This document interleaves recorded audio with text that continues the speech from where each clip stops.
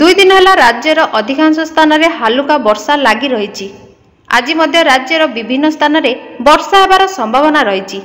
ଏଗାରରୁ ଚଉଦ ତାରିଖ ପର୍ଯ୍ୟନ୍ତ ପାଗ ପୁନଃ ଶୁଖିଲା ରହିବ ଏବଂ ଦିନର ତାପମାତ୍ରା ବଢ଼ିବ।